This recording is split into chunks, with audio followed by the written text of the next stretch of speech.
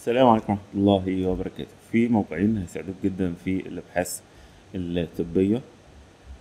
مجرد إن أنت تبدأ البرزنتيشن بتاعك تقدر تحط الصور دي كلها موجودة جاهزة في المكتبة.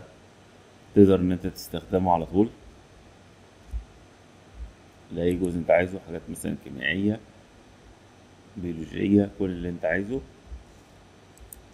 وده برضو نفس الفكرة.